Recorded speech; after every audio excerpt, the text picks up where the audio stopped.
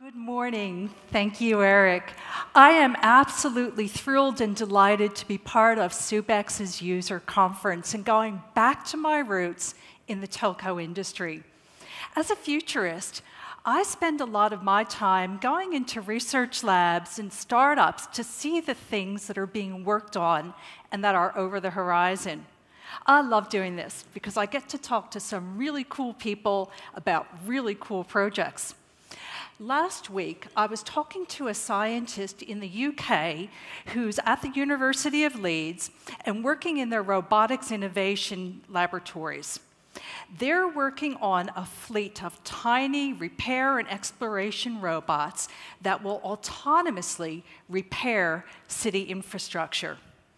Imagine living in a city where there are no potholes because robots have gone out and fixed little tiny potholes before they get big at the first sign when they're still tiny. The robots that this group is working on will also be launched into utility pipes where they will present live information about things that are going on deep underneath the ground. Some of the ideas that they have for building these robots are to use origami type of structures and robots that are able to fold up and take different shapes. They're also looking at robots that are actually swarm bots, swarms of tiny little robots that are able to act collectively like a hive and attach and detach themselves into different shapes, like transformer toys made real. The team that is working on this has already launched exploration robots that have explored the Great Pyramid of Giza. The robots that they've designed have gone into air shafts in the pyramids and uncovered writing that was unseen by human eyes for thousands of years. The things that are being worked on right now will fundamentally change our world in ways that will be hard to even imagine. In 10 years, our world is going to look so different than it does today. And in 20 years, it's going to look like it's straight out of a science fiction movie. Now, there are so many opportunities and so many impacts for the kinds of disruption that these emerging technologies will have. But what strikes me about the telco industry is that networks are the glue that is holding together all of these emerging technologies. There are so many opportunities for those of you that are in the network business. But there are also risks if you don't have agility to be able to seize these opportunities or you don't invest in the appropriate capacity in your networks you need to look over the horizon at where the opportunities are because fleetness is going to be increasingly important. So let's go for a little ride into the future. One of the first areas that we will see emerging technologies impact people's daily lives is in the way that we interact with our environment. So you would all be familiar with wearables, things like Fitbit or smartwatches that are able to measure your breathing rate or your heart rate and your sleep patterns and a range of other things. Wearables are about to get a whole lot more intimate. At UC Berkeley, they've designed prototype sensor based wearables that are able to do molecular based analysis from the sweat on your body. A lot of companies are looking at wearables to use in their enterprise deployment as well for safety and occupational reasons. This kind of wearable allows you to start to get very rich biosensing data about individuals. There are a lot of applications, including very highly individualized healthcare. Another area that is really exciting is with stretchable electronics. Now, these are not even prototypes, this is commercial. There's a company in Massachusetts called MC10 that has designed these wearable sensors that basically fit on you like a band aid, and they're able to measure all kinds of biometric signals, including heart information, and through Bluetooth communications, match it with an app and then from the app go up to a cloud and do real time based analytics. Increasingly, people who have very serious health issues like cardiac problems will be wearing sensors that are analyzed in real time through analytics in the cloud. Network connectivity is going to be very important. And in fact, there are people that I know that use wearables where if they don't have that kind of network connectivity, they need to check themselves into a hospital because of the severity of their physical issues. It's going to get even more interesting than that. It's not just healthcare where we're going to see this whole new world of stretchable and bendable wearable technology. At MIT, they're working on something called DuoSkin, which is pictured here. It uses gold leaf as a connectivity or conductivity material, and it's transferred onto skin through water. And with DuoSkin, it can do three things. It can allow you to use your skin interface to control appliances like a touchscreen on a phone. One of the first applications is controlling music.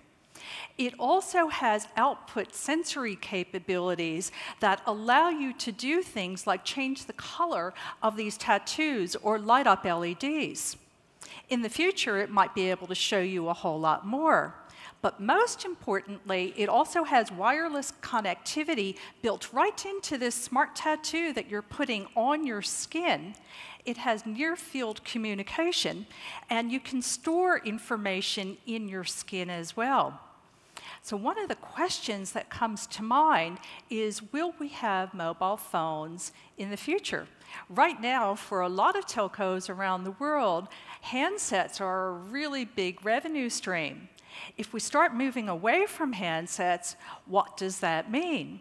Well, I think we're still going to need something for the visual side of things. I don't necessarily think that we're going to use our skin to be able to replace a flat screen, although I have seen a concept wearable that does have a display that's foldable and you can actually put it on your wrist. But let's face it, sometimes it's cold and you don't want to have your arms exposed. We will have all kinds of sensors on our bodies, but maybe we'll have a comms badge like they have in Star Trek Enterprise as the gateway back to the world. But what will we do for the visual side of things? Well, that's where an exciting technology called augmented reality comes into play. And this is starting to hit mainstream now.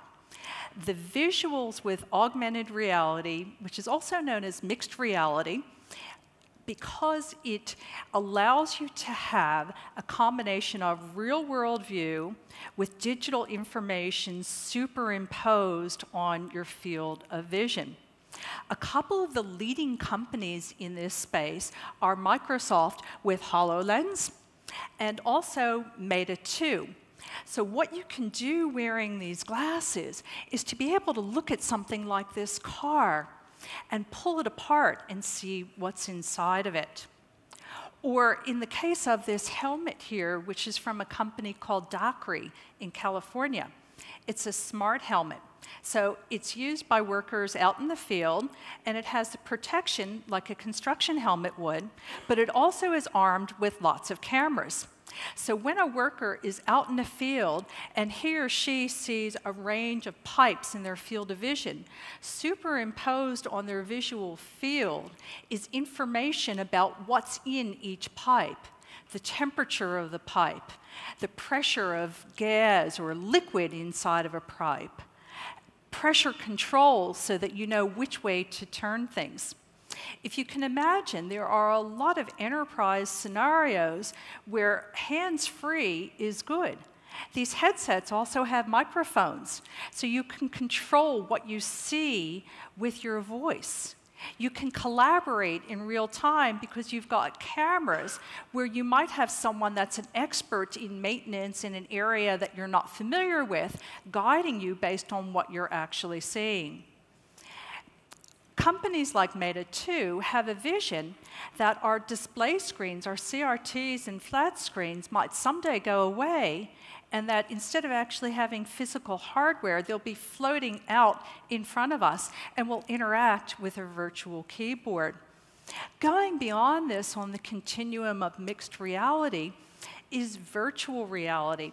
And with virtual reality, what you are doing is essentially immersing yourself in a world where the outside world is taken away from your view.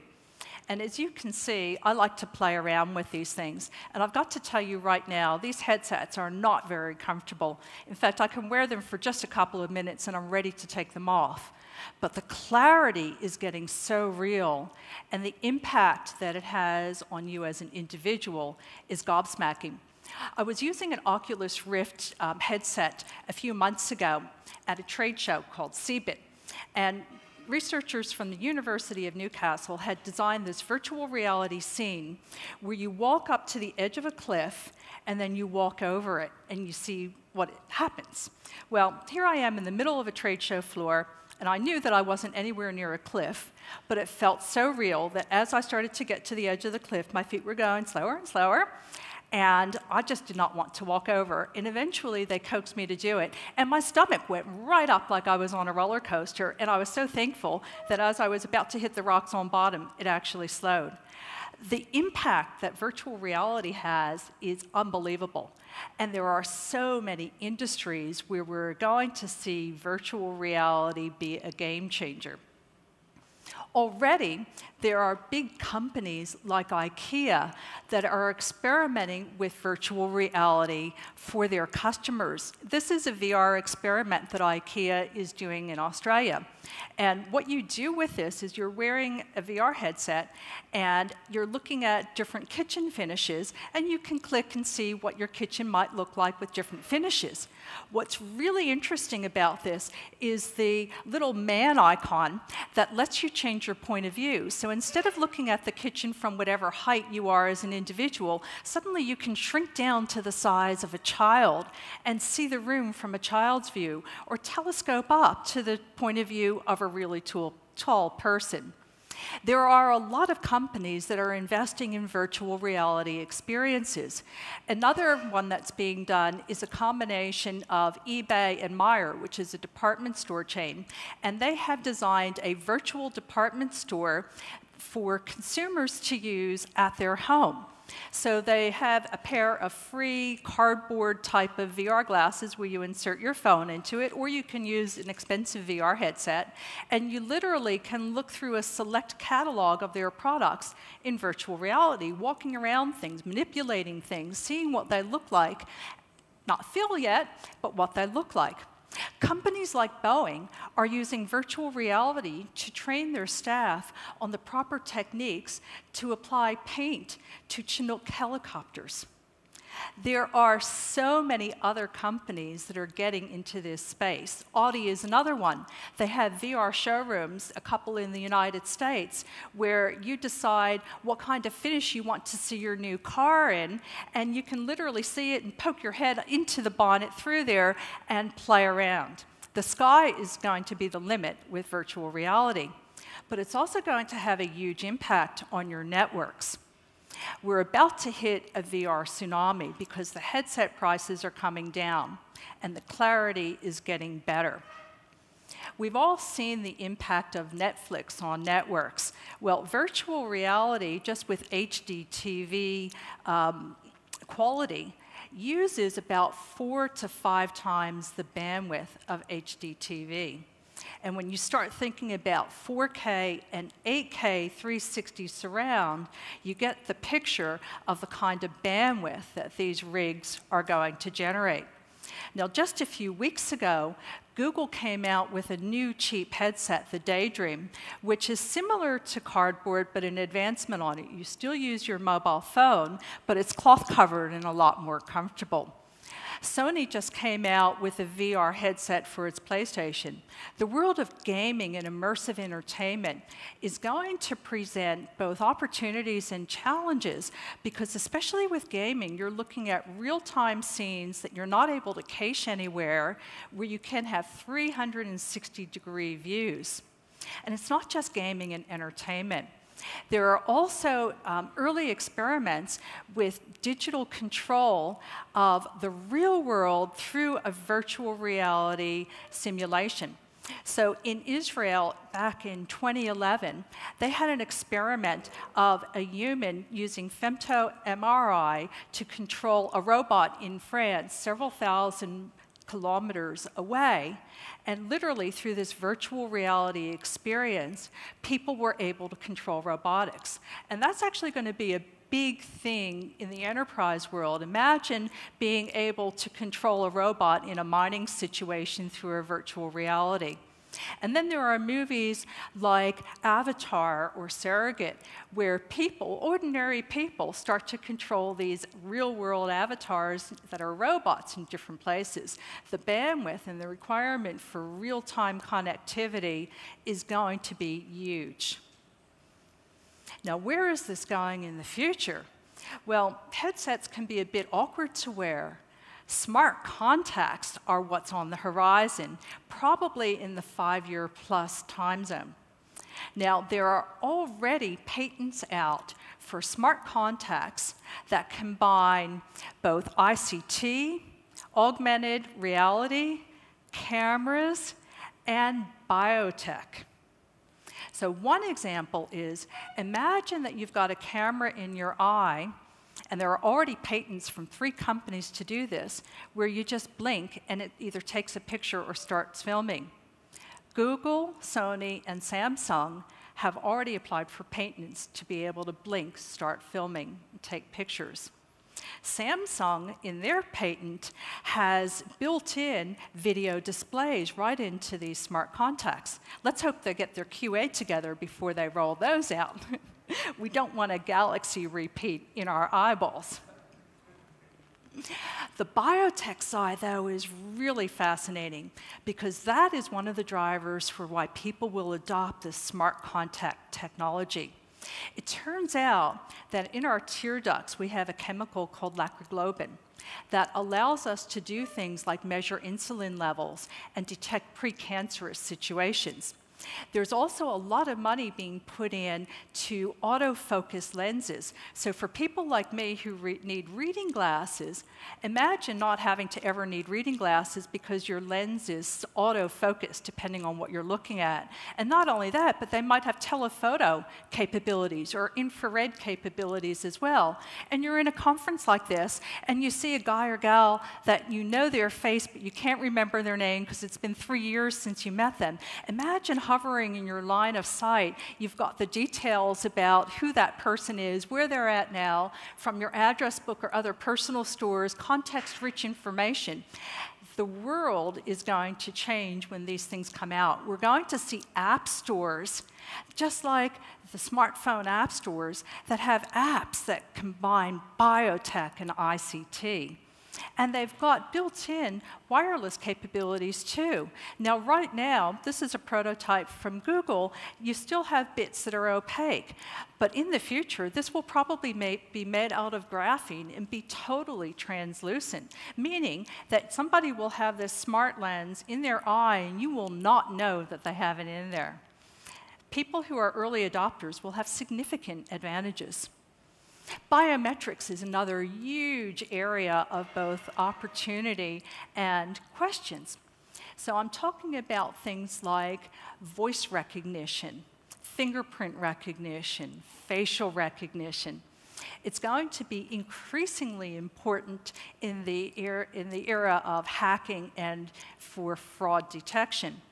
Barclays Bank in the UK has just rolled out a voice recognition banking system and MasterCard is doing trials in 12 European countries with a combination of fingerprint and facial recognition technology.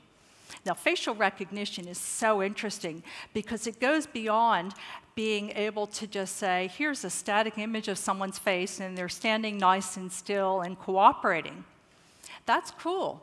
But where it gets fascinating is when these facial recognition systems are able to recognize faces in a crowd from CCTV cameras mounted at an angle and pick people out and figure out who they are. But it goes beyond that too. In the world of retail, there are all kinds of applications to be able to recognize the demographics of the people either in your store or in front of your ad, and not just the demographics, but the emotions. Imagine digital signage that changes and provides real time content based on the kind of people that are in front of the ad and their reactions. So if you've got a sign and you're in a supermarket, you probably want to display something different to little old ladies than you would a bunch of teenage boys. There's, in Australia, a company that's starting to roll out these kinds of digital signs right now. Fascinating area that combines artificial intelligence with biometrics. But what happens if a biometric database is hacked? And it doesn't have to be facial recognition, but it could be your voice print, it could be your fingerprint, it could be anything. Now, with facial recognition in particular, the bigger your database is, the more likely it is that you'll have errors in matching. But what if someone hacked into it and instead of having a terrorist picture in the suspect list, suddenly it was your picture or mine. How would you recover from something like that, especially if they've got a predator drone that's set to put missiles at you, you know, if you're one of the suspected terrorists? Now, there are some technologies in the future that might help us recover from a hack of biometric databases. This is something that's being worked on by Binghamton University. It's early experimental stage right now. It's a brain print. And what they do is they mount you with this head cap full of um, ECG signals. And of course, you know, by the time it gets commercial, you're not going to be wearing things like this. And they're showing you a series of images and monitoring your brain's reaction to this series of images.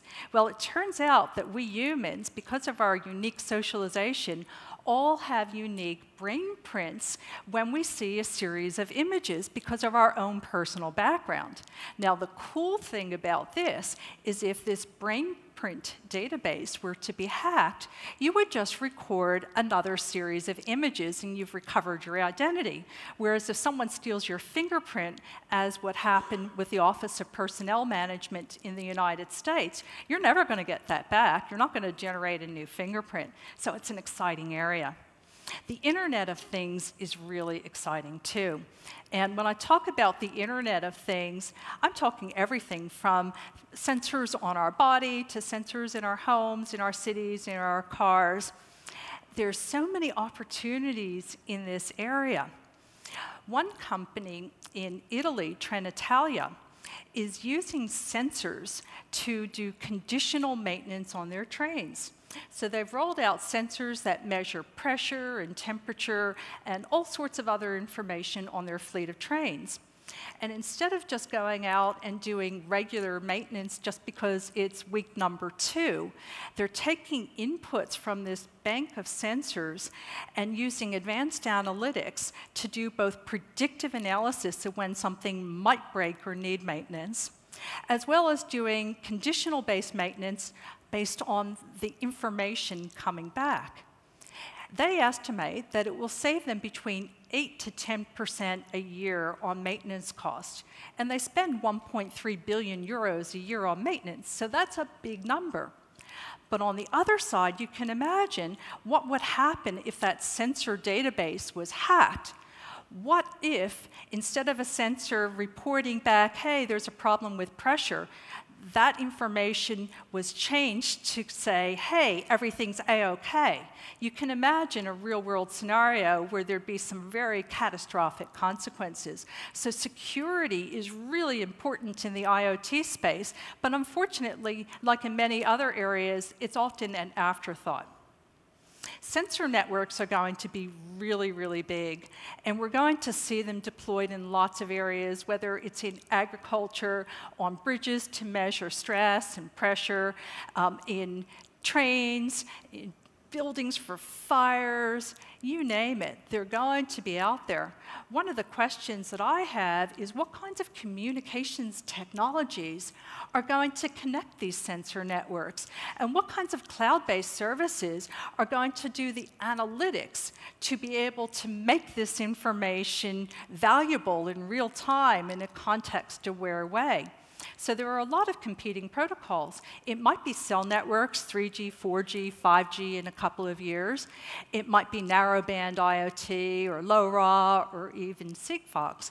But the question is will it be carriers who deploy these sensor networks, or will it be some other organization? There are massive opportunities waiting to be taken advantage of. And frankly, depending on which analyst you listen to, by 2020, there'll be anywhere from 50 billion to 200 billion things connected to the Internet of Things. The cities of tomorrow are going to change in major ways. Our populations are growing.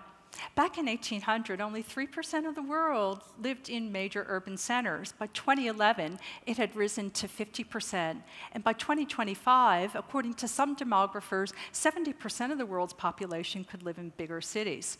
So there's going to be a lot of pressure to be able to change our cities to accommodate this influx of people. And smart cities are one way that this will happen. And it's a combination, once again, of instrumenting our environment and then using advanced analytics to do really interesting things with all the data that is coming out there. There'll be all kinds of sensor networks. In Sydney, on the Sydney train system, they've just rolled out something called Mousetrap. It's a sensor that is able to sniff odors of either permanent markers or spray paint. It's meant to fight graffiti, which costs in New South Wales $34 million a year to fix trains and make them look nice again. The system cost about 500,000 to roll out. So when this mousetrap sensor sniffs markers, it activates a CCTV camera feed directly to police in the train office so that people can see what's going on in the train. And because the train's moving, they can actually catch the vandals in real time. Imagine a city where buses are rerouted to routes where you actually have people waiting instead of going to routes where you have nobody at a bus stop. You're going to start to see a whole range of very smart analytics. One of the other things that's happening in cities is what I call the Wi Fi revolution. And it's happening at different paces in different parts of the world, but I'm starting to see a lot of municipalities that are rolling out free Wi Fi. So the question might be with all this smart city initiative happening, once again, is it carriers that will benefit from this, or will the cities be putting in their own infrastructure in isolation? And once again, what protocol might they be using? In the cities of the future, we're going to see lots of robots. I mentioned earlier some of the work being done at the University of Leeds. In my hometown of Sydney, Researchers at the University of Technology, Sydney, and New South Wales Roads and Maritime, which is responsible for the Sydney Harbour Bridge, started a collaboration about seven years ago to try to tackle the problem of how do we safely get into these tiny infrastructure, steel, big steel um, infrastructure, but in tiny little crawl holes in a way that's safe for humans. And what the researchers came up with was a biologically inspired robot called Croc that's based on an inchworm that is 100% autonomous. It's able to navigate into the Sydney Harbour Bridge in these tiny little nooks and crannies, map it out, send it back to a geospatial system, and it will, in the future, also do automated grit blasting of these steel infrastructure projects. This isn't an experiment. There are actually two robots that live and work on the Sydney Harbour Bridge, Sandy and Rosie, and they're out there right now. We're also going to see increasingly the need for cities to monitor and integrate these data sets. This picture is from Rio de Janeiro. And they rolled out a whole range of sensors in support of the Olympics. And I was chatting with Kiran last night. Kiran, for those of you who don't know him, is the head of Subex's IoT portfolio. And we were talking about this particular project.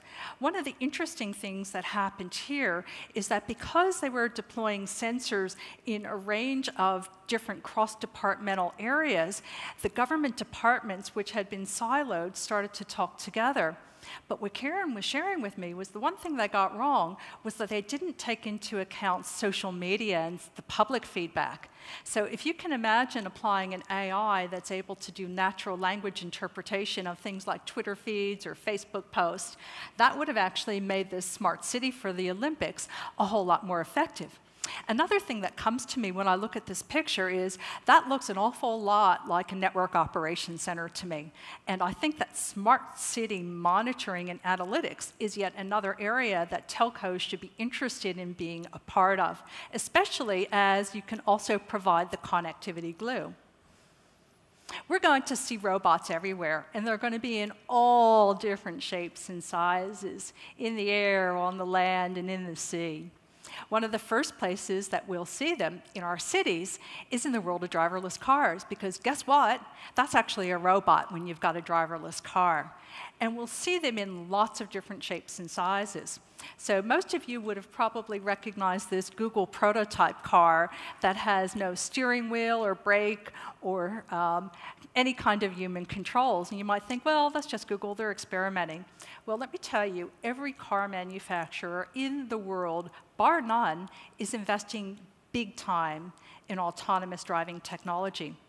About a month or so ago, Ford announced that they're going to be rolling out commercial vehicles that are aimed at the ride sharing market, like Uber and Lyft. And these vehicles will have no steering wheel, no brake pedal, nothing, nada. They will be designed for autonomous service. This little taxi looking thing is being trialed in the UK right now in a place called Milton upon Keynes.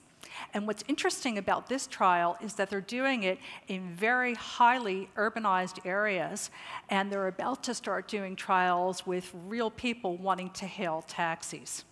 Now, it's not just these little pod like things that we're going to see. We're going to see luxury cars that have these sensor based technologies as well. Tesla is probably the most well known in this space with its expensive um, vehicles that have all kinds of sensors. But if I look at mainstream companies, for example, Volvo, their new S90 today, commercial, has all kinds of sensors. They're able to detect when pedestrians are about to go in front of a car, or cyclists, or large animals. They have technologies like lane assist that will gently nudge you back in your lane if the robot vision senses that you're straying. They have remote assist um, cruise control, where one of the things that's so annoying when you've got cruise control in is somebody's going a bit too slow in front of you, and suddenly you have to hit the brake, and then you put it back on, and they go too fast, too slow, and you're constantly being driven nuts. This technology today, this remote assistance, does that back off, start up again without you, the human, taking care, having to do anything. And this is a commercial vehicle that's being sold now. By the time we get to 2020, we're going to see almost every vehicle in the world that's being sold in a showroom have some sort of remote pilot capabilities, which will be driverless vehicles. It's going to change everything. And it's not just the vehicles that will be on our roads. This cute little robot here is called DRU. It was designed by Domino's Enterprise, Domino Pizza, in Australia. It stands for Domino's Robotic Unit, and it's got two little containers up at the top, one for hot pizzas and one for cold drinks. And it is being navigated in semi autonomous mode right now in Brisbane in trials, delivering pizzas using footpaths and cyclist paths. And one of the things that Domino's is doing is that they actually did trials with customers to see their reaction to this cute little robot rocking up to the gate of their house. They wanted to know will a customer actually go out to the gate to fetch their pizza instead of having a guy or a gal knock on the door? And the answer is yes. Um, maybe it's because robots are still so new and such a novelty for most people. But robot vision is very important. And if you think about the spatial databases that governments and other organizations collect, there's also a lot of information that can be used to help these robots navigate. Domino's is doing some really interesting things. They also have a drone where they're doing drone based pizza delivery in Auckland, New Zealand as a trial. So there's some cool stuff happening on the technology front in terms of taking this and bringing it down to a consumer interactive service. Now, one of the things that will happen is that vehicles which are armed with all kinds of sensors will not only be communicating back to some database somewhere, they'll be communicating with each other in vehicle to vehicle networks and with the cloud based network traffic control system that will also be communicating with infrastructure like traffic lights and speed limit signs. So today, when you've got a driverless car, it uses robot vision to figure out how fast or slow to go. In the near future, this signage will be telling the robot the speed limit here is X. The street light will say, I'm about to turn to red in 10 seconds. And the robot car will be able to calculate exactly what it needs to do next. These will also play a role in visions of self-repairing cities. So at the University of Leeds, one of their ideas is that rather than having dedicated robots scour the streets, why not use the robot vision in all these vehicles that are going to be across the streets and let the cars tell us when they detect a road that is in need of repair, and that will be our trigger for doing a little robot repair work that may be like a little bit of 3D printer type of work. There are so many opportunities in this space, and once again, there's going to be some sort of network and analytics that goes with this. And it's not just the driverless aspect, it's also the infotainment aspect of connected cars. Once again, this is a space that telcos could play in, but you've got to remember when you've got vehicles traveling at velocity that can hit each other or pedestrians, you can't have a network failure. It really does need to be very robust, and part of that will be having sensors on board these robots as well as the robust traffic control system. So what might this look like? Let me just give you a cheeky view from Black Sheep Productions of what this autonomous vehicle world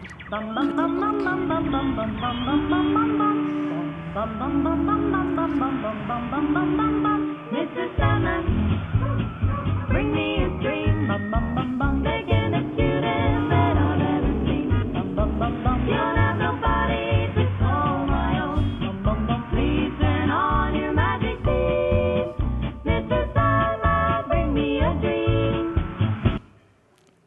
There are already researchers working on slot-based vehicle systems.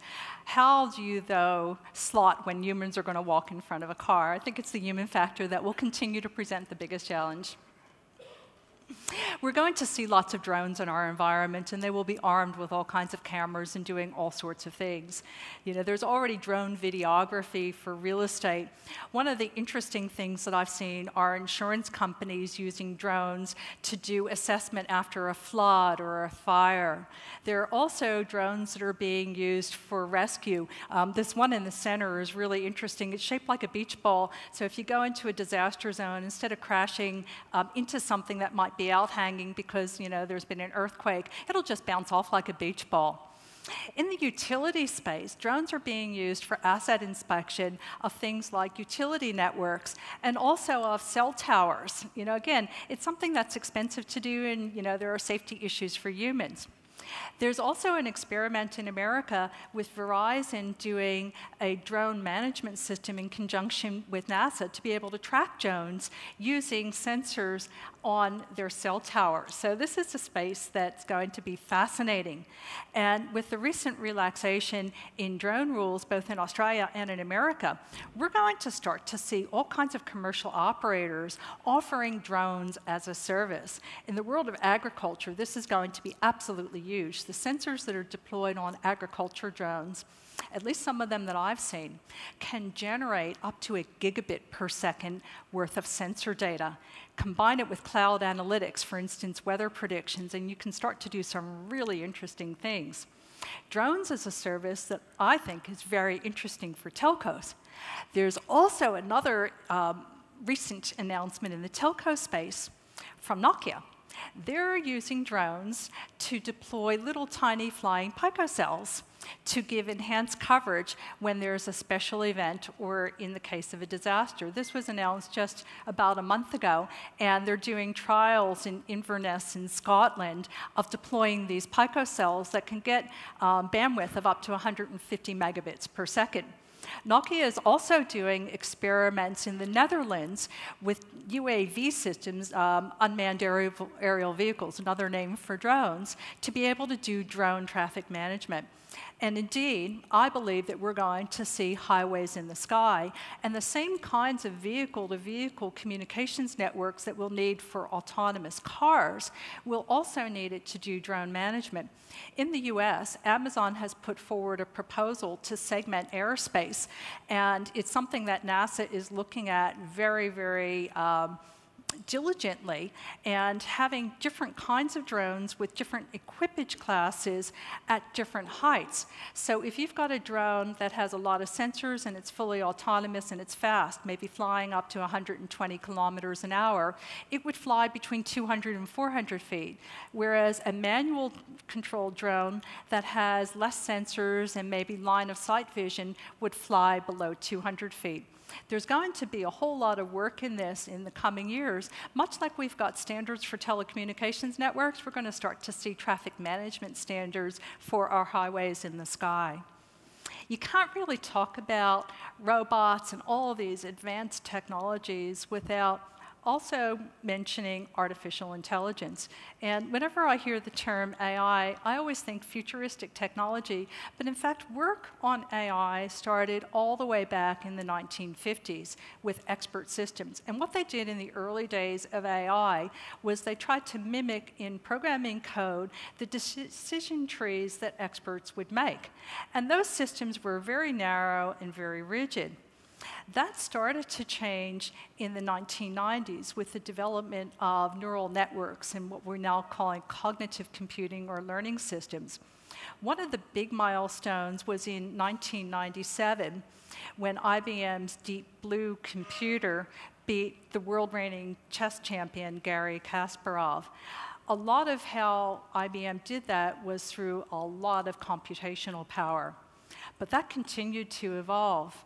In 2011, when IBM Watson won Jeopardy, what they had designed was an AI that was able to react to natural phrases. So you're starting to see AIs that are able to interact in human language rather than in pre programmed language.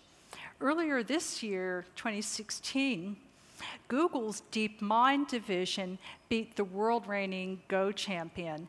And that AI, called AlphaGo, is said to have exhibited creativity in that it took actions that were not trained into it.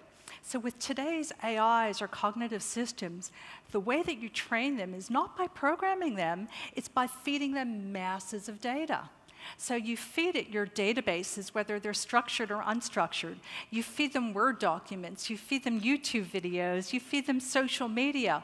All kinds of things go into these AIs and they absorb this and they learn. So, one of the areas where we're going to see AIs first is in the fintech world with so called robo advisors. And unlike this picture, they're not really hardware robots, they're soft bots. So, in the world of fintech, there are already a whole range of firms that have deployed these automated investment services that allow people to manage their portfolios with a better rate of return than a human advisor would give them on a completely autonomous basis. Now, AIs will not use just uh, not be used just in an autonomous fashion. Another really interesting example is what I would call assistive intelligence. And an example is from IBM Watson, where they're partnering with oncologists to be able to have the AI, Watson based AI, comb through reams of data on cancer that are being produced in clinical trials around the world, papers that are presented at conferences, all kinds of new drug trials, and match it with individual patient records and provide to a trained oncologist information relevant to the treatment of a particular patient. Because let's face it, there's so much data coming out that no matter how trained a surgeon is, they can't possibly keep up with everything that's happening all around the world every single day.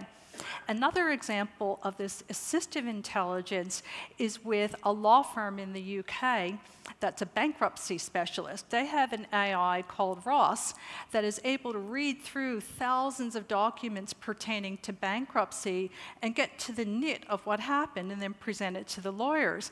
And it greatly reduces cost and time in bankruptcy proceedings.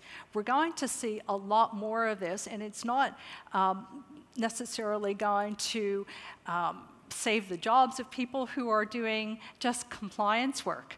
So if you've got, for instance, an accounting firm and all you're doing is compliance and filing tax returns, it's time to actually lift your value proposition and start doing something that actually provides more value to your clients. Or you might find that they can do an AI-based service that's going to do it cheaper and faster and more accurate than a human could do. Another area where AI is making huge advances is in the area of voice recognition.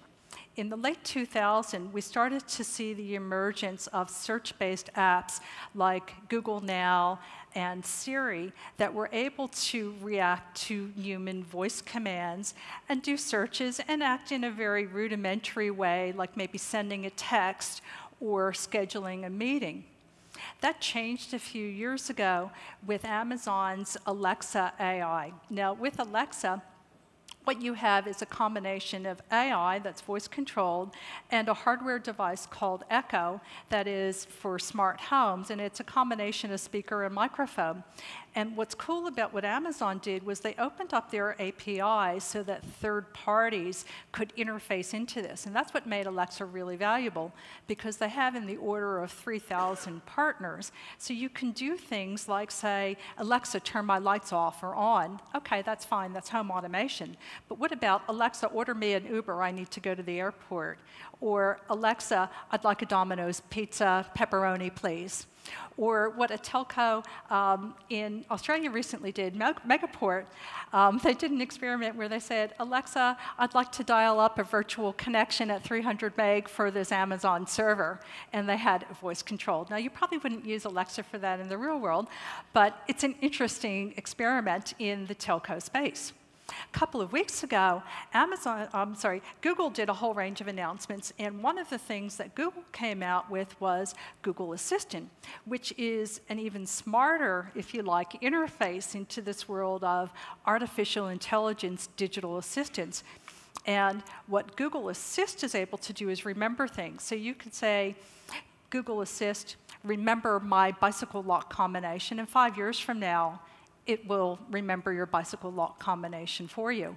And it has conversational actions where you might say, Google, I'd like to find out when the cheapest flights are in October to go for a weekend in Vegas. And it'll come back and ask you a question. Well, do you want to go nonstop or is it okay to do, you know, a non-direct flight? And ask you some other questions and then ultimately make your reservation. This is a new paradigm of digital assistance that's going to be both um, an interesting opportunity and potential threat for different telco organizations. There's also privacy implications. You know, how much do you want a social media giant like Google or Amazon or some others to know about you? So what might these digital assistants look like? Let me just show you a short little clip. This is a company called um, Kimera Systems, and they've been working on this space for a number of years now. The other day I had a meeting downtown and MagnoRail went offline. Nigel learned about it and booked a car service so I could make my next appointment on time. This week we had a meeting with a brand new client. Nigel never stopped mining the industry data and new services and was able to provide us with the latest numbers for our presentation. And you know what? We rocked it and earned the contract. So what's interesting about this is that it's drawing information not just from your personal treasure trove of information, but from all sorts of sensors that are deployed in a smart city. It looks at your calendar and it does things that actually help you navigate your life. Their view is that you should have a personal cloud and a personal AI rather than a public cloud with an organization like Google knowing about it. So the question will be, is this an area that telcos can play in? A few years ago, I was talking to the head of Bell Labs, Marcus Weldon, And his view is that it is absolutely an area ripe for telcos. And when I spoke to him at the time, they were working on a Project X, which would actually be a cloud based AI system that telcos could deploy for digital assistance for their customers. So I think it's a watch this space and see what happens. But by the year 2020, it's going to be very common for us to have our own personal digital assistants of some stripe. Another area that's fascinating is robots as a service. So I mentioned drones as a service earlier. How many of you have heard of Pepper? Anybody? This is Pepper, this absolutely cute little humanoid robot, and it's deployed by SoftBank in Japan. SoftBank is a major telco. And what they've done is, in conjunction with a robotics company called Aldebaran, they've designed this little robot that is able to have a conversation with people and picks up emotions from people based on their facial expressions and the cadence of their voice. Now, they've put Peppers up for sale once a month for the last 12 months. They put 1,000 units up. And every single time, these robots have sold out in one minute flat. And their plan for this is they sell the hardware, they sell a three year subscription for software updates to the robot, and a three year maintenance plan. Pepper is now powered by IBM Watson, so Pepper is about to start getting smarter and learn more. And companies are deploying Peppers in their storefronts as well and using them to greet customers. It's an interesting space and one that's ripe for the picking for the telco market. Now, with all these emerging opportunities, you know, there are so many new areas that telcos could, could get into, but there are also risks to your reputation that you could find um, are threatening your very existence if you don't get it right. And when I say get it right, it's not just in the new technologies, it's in your basic core connectivity. And I have to look no further than my own home country of Australia for a couple of catastrophic examples of telcos who recently have not gotten it right. In 2009, um, Vodafone Australia and Hutchison did a merger, and by combining their networks, they were meant to have better capacity, and it ended up being a total disaster. They were just completely caught out by the data tsunami, and between 2010 and 2013, they lost 2 million customers, and they ended up being sued by consumers and earned this nickname, Vodafail, that after now, billions of dollars of investment later, they're still finally starting to shake, although they had a network outage about three weeks ago, which brought up this whole Vodafail again. In the meantime, Telstra, which is the former incumbent in Australia, has a reputation for having the best you know, networks, premium quality, premium price. And over the last number of months, they've had a range of catastrophic failures. They've blamed routers, they've blamed software upgrades, they've blamed human configure. But I don't think that's actually the full story. I think that there might be some capacity issues behind it. And in fact, one of their failures happened at the end of our financial year on 30th of June. And I was in a department store Myer, on that day, and every single system was out in the company. They could not take credit cards or EFTPOS or anything else. The only way that people could do transactions was to pay cash. They couldn't even let you order through their online system and have it shipped to you because the online systems were down. And in fact, I was talking to one of the salespeople, and they said, Well, we're actually going to miss our year end targets because of this.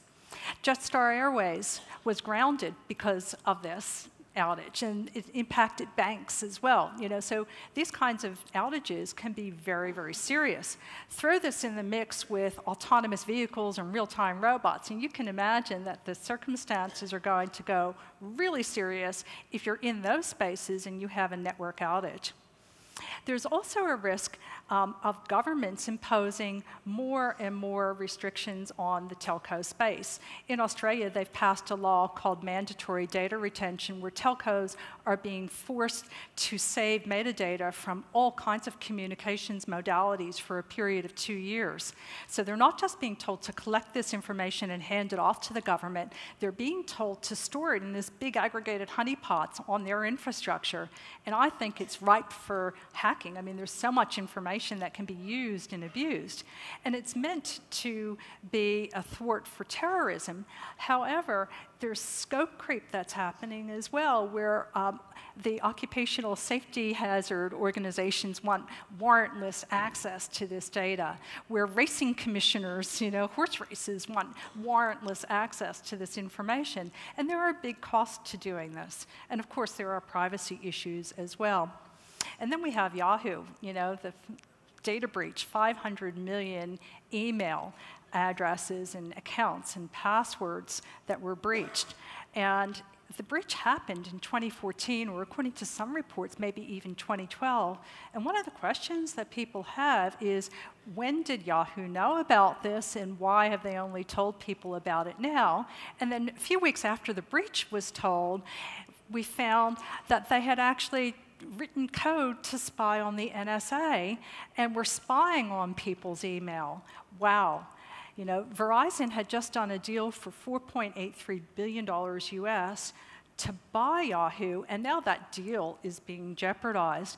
But you know, it's not just breaches. We are sending so much information in the cloud. It just astounds me how much information put out there, people put out there about themselves. This word cloud is something that I built um, a few weeks ago from the 98 data points that Facebook says it collects about people, and it is just astounding how much these social media giants know and how quickly they change their terms of service. So what does that mean for us as humans? You know, with all this technology and sensors, you know, are we still going to be human in the coming years? And, you know, what about implants and other things that we might take into our bodies? How might this evolve? Well, there's already work being done on implants um, in the medical world to help improve human memory when you've got people with Alzheimer's or dementia.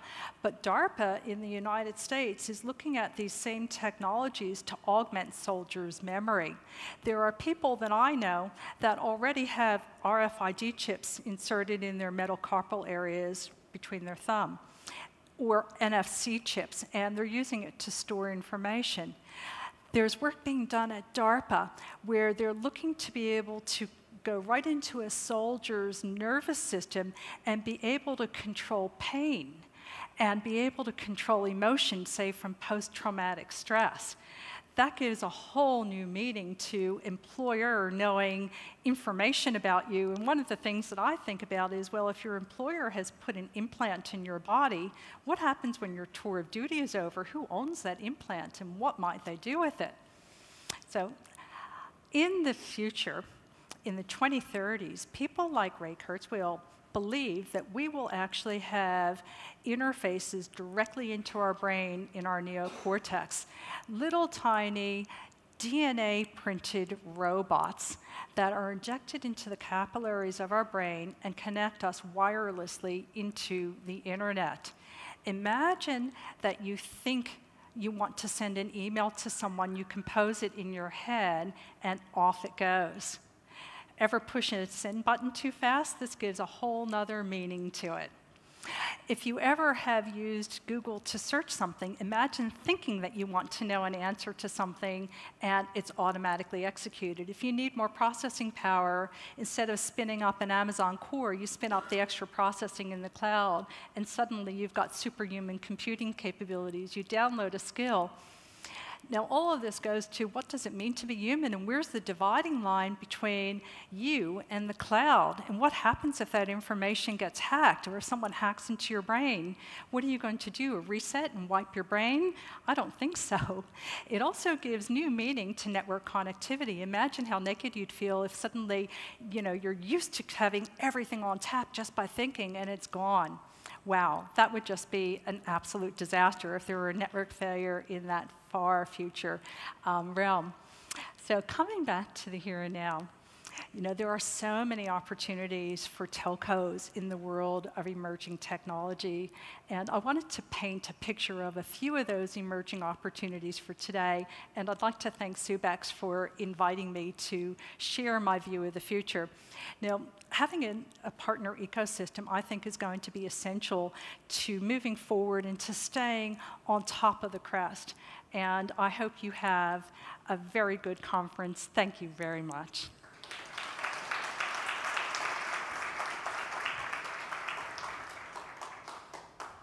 You're not allowed to leave the stage yet, Shara. I'm oh, sure there's okay. going to be lots of questions coming in. I have a few already that have come okay. in.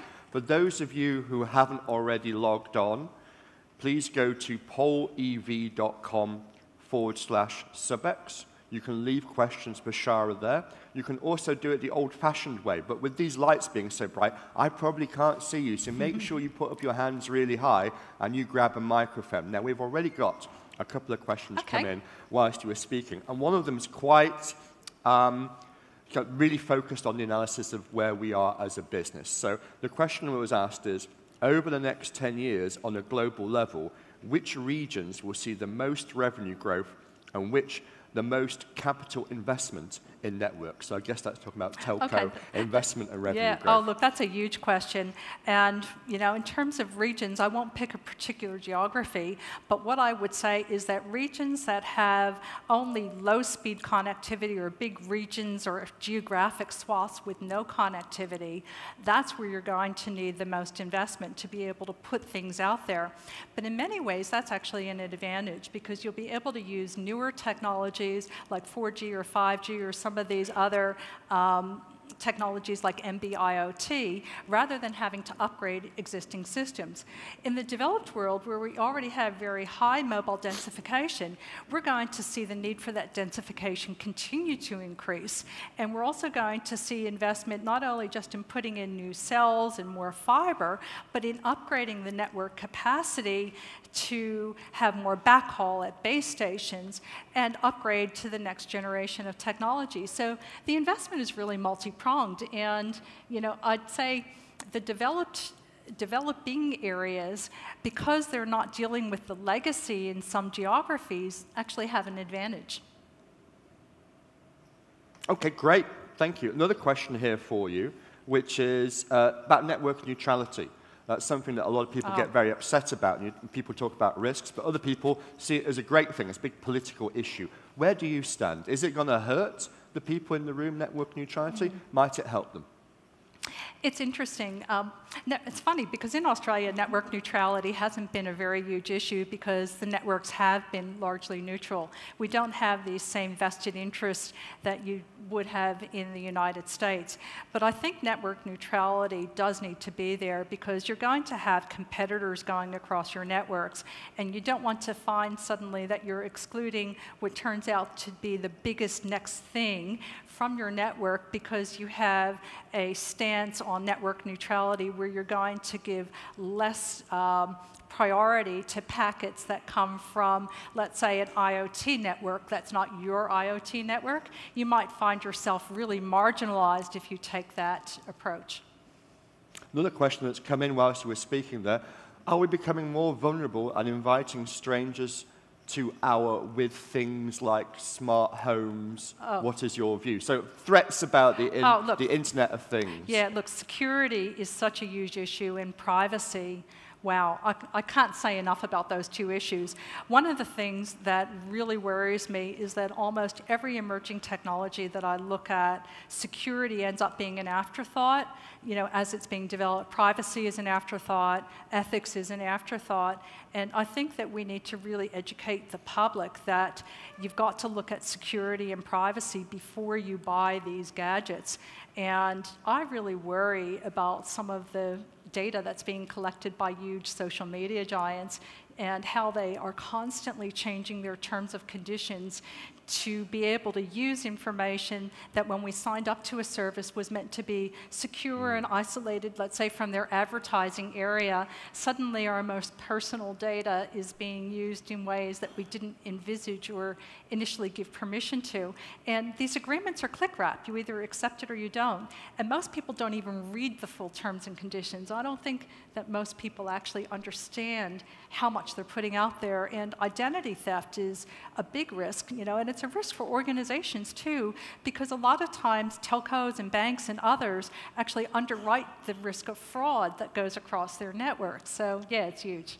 Well, I, I think, you know, when you mentioned there about reading the terms and conditions, I saw a survey said that the few people who did read it, on average, spent less than 90 seconds going through it, which tells you they're not really reading it. But of course, the, the thing now is with the Internet of things, there's going to be devices that don't even have a screen. So when they change Yes. the terms and conditions, how is the interaction even going Yeah, to take and, place? and even worse on some of these IoT devices is that they've put in um, the compiled code. They don't even have the source code for their security, and there's no mechanism for upgrading the security on the thing that's doing something. And how do you combat a new threat? When you've got no opportunity to even modify the code. You know, so security is going to be huge. And as we start taking more and more sensor data, you know, whether it's in your house or in a city or on a train, and using it to base real world actions like maintenance or lack of maintenance, wow, you know, there's some pretty catastrophic things that can happen. Absolutely. Do we have any questions from the floor? We don't have to always do it the newfangled way. People can use a microphone and ask a question. Any hands up? I can't see any hands. Oh, here's a hand up. Okay. Do we have a microphone, please? Whilst they're fetching a microphone, I will ask you this one that's Okay. in again. Do you really think it's up to people to protect themselves? Where does the book stop? Says Rohit. Where's Rohit? there we go. He's taking Yeah. responsibility for that question. Yeah, and you know, I think for those of us that are technologically literate, then we really do need to look out for ourselves and try to spread the word amongst the people that we influence. But so many people don't have that kind of deep knowledge to even know what to look for. You know, if I think of, you know, an 80-year-old mom or grandmom, you know, who is only now getting to grips with a smartphone, do you really expect someone who's just learning how to use the technology to also be aware of these security threats? Mm. So I think that as service providers and experts in the industry, we also have a responsibility Yeah. to protect people who don't know that they even have to protect themselves. They just don't know. We, we tend to be quite good at protecting ourselves with the lawyers. Sometimes we're not thinking about how to help people protect themselves and That's make right. their life easy. And I think that there's also opportunities for telcos to become the pr- trusted privacy advocate to basically say to your customers, we're the ones who are going to put together your personal cloud, and we promise you, you know, forever and a day, for as long as you're part of this service, that no third parties get access to your data, including us, unless you specifically give permission for third party access, maybe for a period of time. For instance, if you're in the process of buying a house and you want real estate agents to know that you're looking at particular properties, there are particular fields or data segments that they might have permission to look at, but then you can revoke it or only give that permission to specific real estate mm. agent companies that you want to. And that's just the tip of the iceberg. Mm. But you know, if you had a big company that actually acted as the savior and protector of the citizens, I think people, once they realize how much information can be abused, will want that kind of service and will want to feel protected. Yeah, and we see that a little bit in terms of how Apple responded to the FBI oh, requests. Oh, absolutely. You know? Yeah. There's actually some value, and sometimes the telcos get criticized by politicians with the, with the accusation that you're only doing it for competitive market reasons, which to me sounds like you're doing it because people want you to do it. And the, the, not, they don't put it so nicely, the politicians. Now, we had a question from the floor. Yes. Uh, Shara, thank you for showing us the future. You know, it, it's really scary.